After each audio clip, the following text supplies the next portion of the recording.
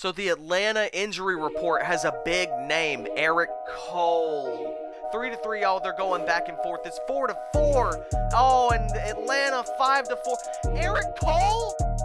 Erik Cole. He has a separated shoulder until June 21st. We're not going to lose three in a row. It, we can't. We just can't. At some point, it has to go for us. At some point, it has to go for us.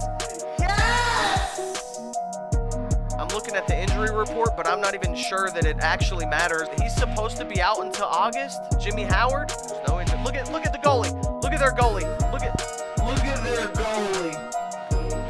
yeah yeah. The Conn Smythe is a guy with a broken finger who wasn't supposed to play until August. Oh, the Carolina Hurricanes lose Game Seven. Welcome back to the NHL 08 Dynasty Mode after a devastating Game 7 overtime, second overtime Stanley Cup loss to the Detroit Red Wings. We are here in the off season looking at the player stats from the last playoff run. Jordan Staal, just a monumental effort, 40 points. He definitely would have won the Conn Smythe if we would have won the cup. We had the Stanley Cup was literally sitting on the tape on our blades so many times. It was bouncing off the crossbar and bouncing out instead of bouncing in.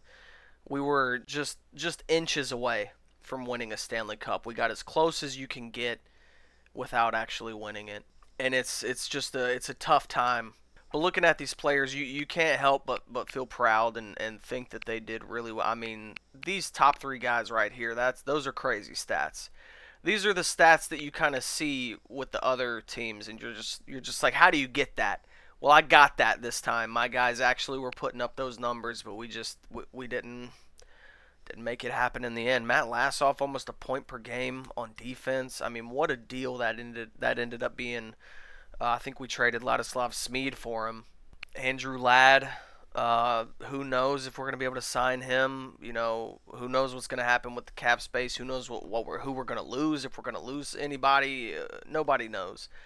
Wade Celios, a big another big playoff run. This guy's a top player for us. Dave Bolland ended up playing really well. Keith Ballard played well. Everybody played well, man. You have to play well to make it to the Stanley Cup. Uh, it's just heartbreaking to lose it how we did when we did being that close. But time moves on, and we have to continue. Um, you know, we gotta we gotta do everything that we usually do. We gotta set up the team for next season. We gotta do the draft, the re-signing, the free agency. We gotta deal with our cap space. We gotta deal with all that, and we gotta set it up again and, and go at it again next season. You know, three years in a row making the Eastern Conference Finals. Um, in that third year, we finally make it to the Stanley Cup we just we just didn't get the Stanley Cup. You know, our core is there. We have solid players that, that are able to get it done.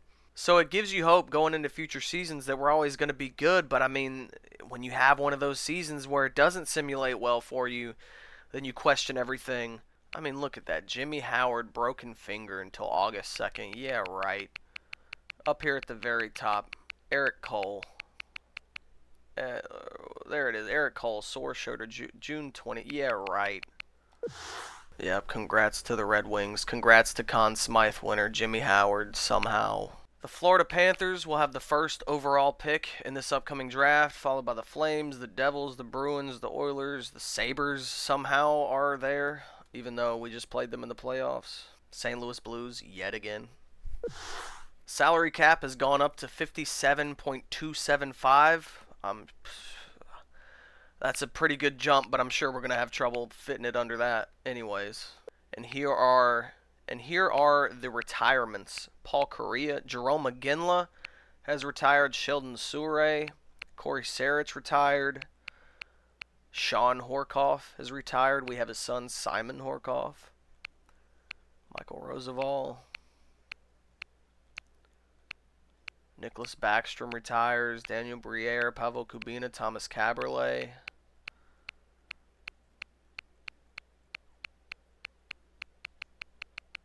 So no big retirements, really.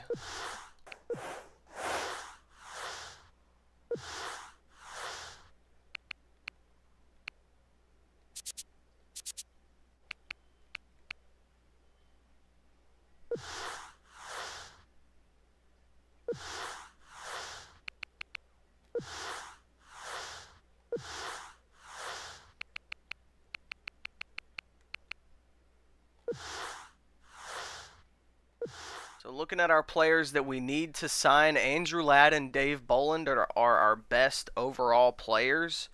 Looking at our salary cap that we have available, it looks like we have 15 million. What does that actually go up to? All right, so the most we can actually go up to is only 11.450.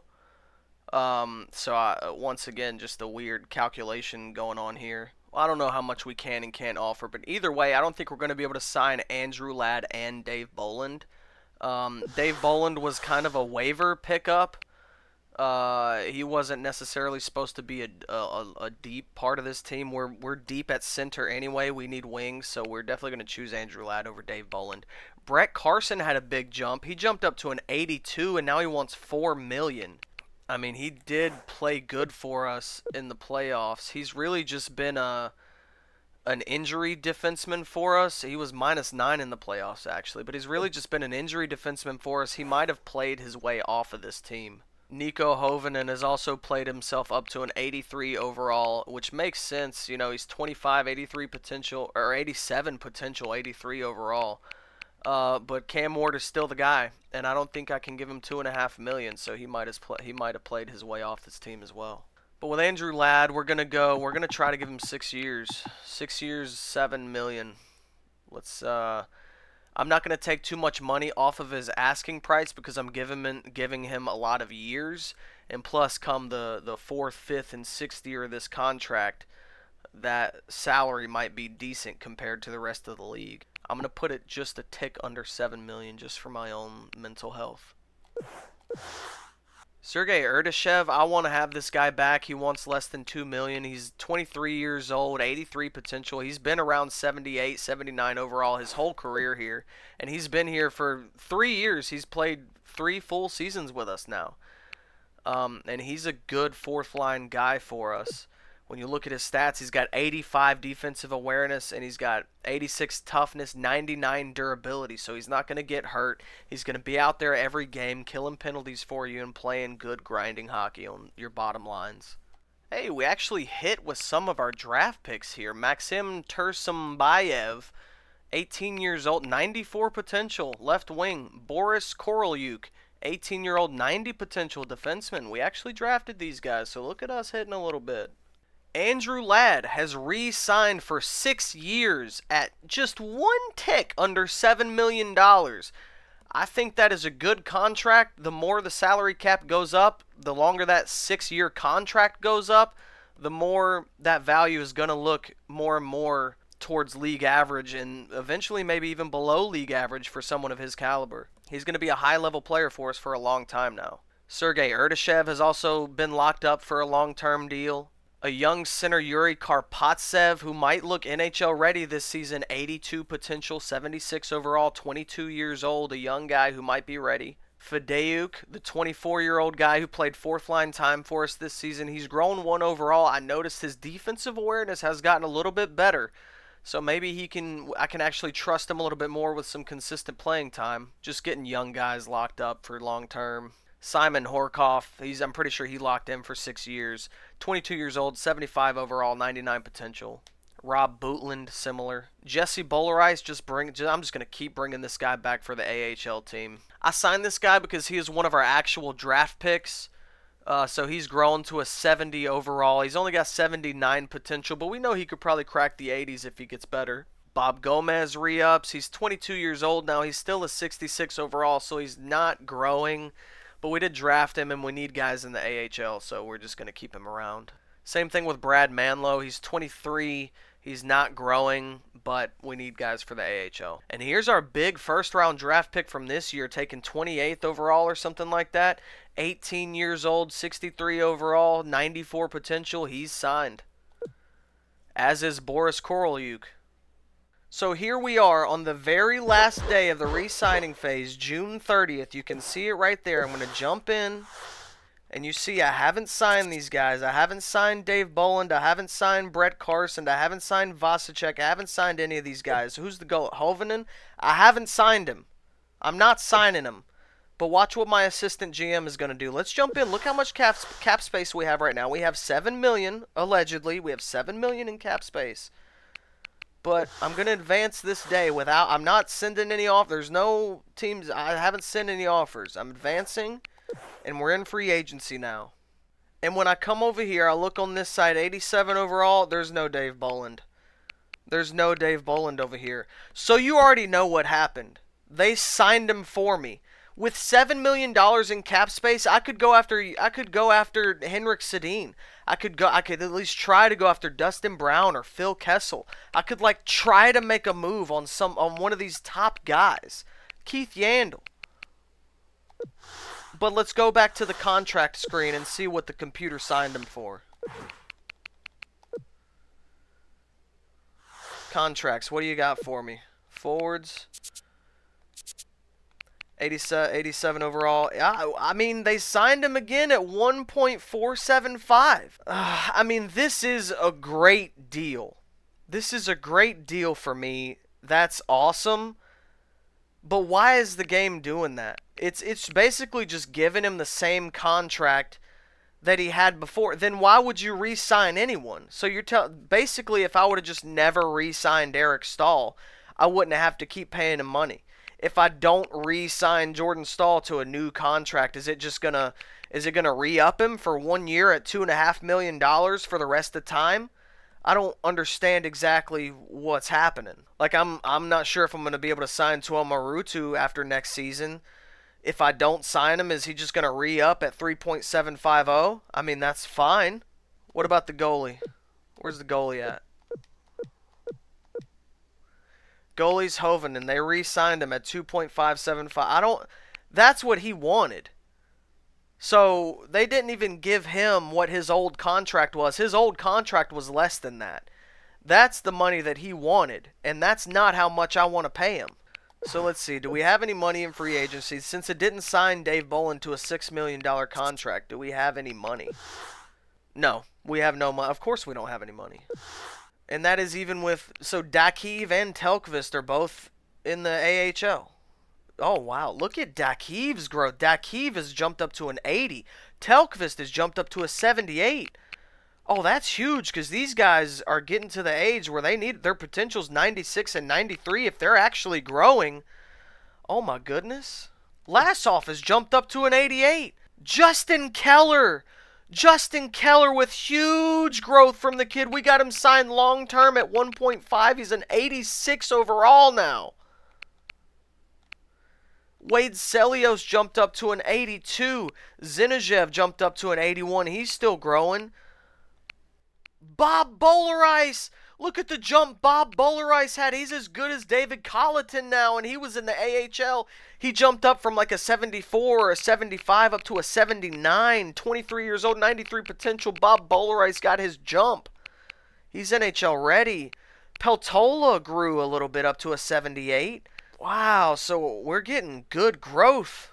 So luckily, I think one of the only moves of me having to free up some space is going to be getting Hovinen off the roster Unfortunately, I'm going to have to take back two goalies in order for this trade to even go through because I have to have goalies on my roster. The game's just not going to let it happen. So I'm going to try to get Mikhail Suglobov and Wakabayashi. Really, this is just to free up some cap space. Hovinen played his way off the team. We're stuck at our cap right now, and we have some guys in the AHL we need to call up. My assistant GM signed Nico Hovinen to a $2.5 million contract for our backup goalie. We don't need that, so hopefully this trade will go through. So I had to find some different goalies, but I mean, same idea, same trade, just sending them to the Rangers and they accepted it. I might should have thought about that a split second before sending him to the Rangers. Now they are going to have a pretty good goalie in a couple years. But they also have Henrik Lundqvist now, so I think they're set. You already know we don't really have salary cap space. Our salary cap is at 55 and a half. That only gives us maybe like a million and a half of room to play with. I mean, are we really going to find someone in free agency for a million and a half? Are we really going to find someone in free agency for a million and a half dollars that is really going to take a roster spot from one of our players? I don't think so. We can look at it just in case. Let's go over here to affordable. Who's the best player they got that's affordable? See, and, and it's a 78 overall. That's who Josef Vasicek is. That's who our depth guys are. We don't need to sign any of these guys to replace their spots. So the salary cap is fifty-seven million and two hundred and seventy-five thousand dollars. If you look on the right side of the screen, over there where the salary cap is, our spent salary cap is fifty-seven million two hundred and seventy-five thousand dollars. We are we literally can't have a penny more on this team. Wow, that's interesting. I did best lines, and it literally puts Wade Celios above Justin Keller. So it it kind of wants me to put Justin Keller in the like literally. Look, best lines. It keeps Wade Celios above Justin Keller. So up here in October of the new season, it's October 1st. Let's see who didn't get signed in free agency. I know it's going to be a lot of guys. Jason Spezza, Phil Kessel, still not on a team. Dustin Brown, Henrik Sedin, Alex Edler, Joni Pitkanen, Steve Eminger, all these guys are. Oh my gosh, look at all these guys not signed on teams. Holy crap, man. There's just not enough money. There's not enough salary cap for for all these players to, to go around. All the, the drafted players that have such high potentials are getting signed to cheap contracts and getting good overalls to the point where these guys that actually want money just don't have space on people's teams. It's just it's it's messed up to see, really. You could have a team made out of just the guys stuck in free agency, and this squad would do better than a lot. They might would win the cup, dude. I mean, that is a stacked team if all these guys were on the same team. I mean, that, that's a lot of guys, right? Yeah, they might would win the cup. So here's a look at the 2013-2014 Carolina Hurricanes. We've got Eric Staal on the first line with Jordan Staal. We know these two guys can carry this team on their backs. Tuomo Ruutu is playing just as well as them. So him on the first line. Our first line has got to be one of the best in the league right now. Dave Bolland on the second line center with Andrew Ladd and Wade Celios.